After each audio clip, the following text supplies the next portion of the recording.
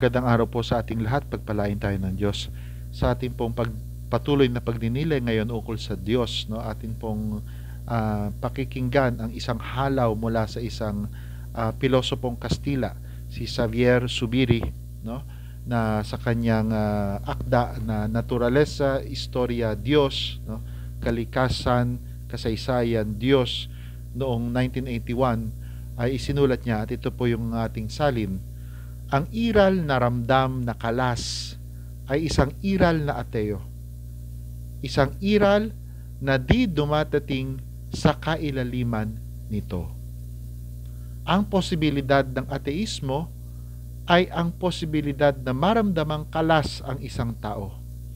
At ang nagpapaposibleng maramdamang kalas ay ang kasapatan ng persona upang gawin ang sariling may-ari ng tagumpay ng kanyang mga lakas upang mabuhay.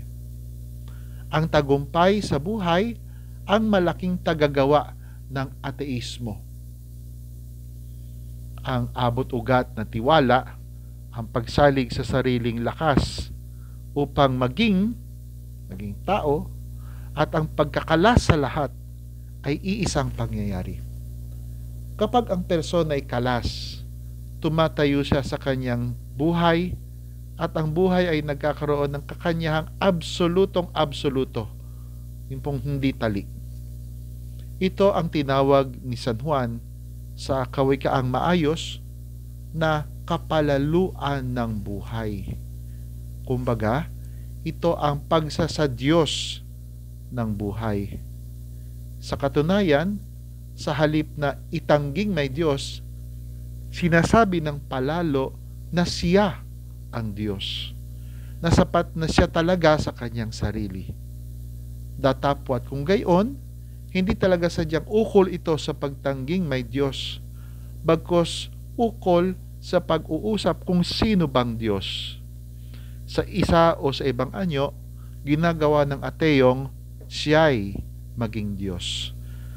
Kaya ang punot dulo po nito ay yung ateo ba ay talagang nagsasabi na talagang walang Diyos. Ang ibig sabihin ba ay talagang walang Diyos? Sapagat meron po dong issue sa ilalim ng pagiging ateo. At kalimitan ng issue ay hindi kung meron ba o walang Diyos, kundi sino ba talaga ang tinatanggap ko na, mag, na Diyos. Diyos na iba sa akin o ako bilang Diyos. No? Sapagat alam po natin na ang tao ay likas na relihiyoso, no? Uh, may sinisino. No? At kung hindi man ito iba, ay bara, baka ang sinisino niya ay ang kanyang sarili. Kaya uh, uh, kalakip yung ating pagtatakwil uh, sa maling prinsipyo ng ateismo, nandun din yung ating pagdadasal para sa mga taong marahil ay ito ang pinanghahawakan, marahil may pinagdaraanan sa buhay, no? patuloy yung ating pag-asa na sa anumang paraan ay sila ay malinawan no at uh, sana ay ipagkaloob ng Diyos na uh, sila ay maliwanagan at sana ay hindi tayo maging sagabal sa kanilang pagbabalik at muling pagkilala sa Diyos. Pagpalain tayo ng Diyos.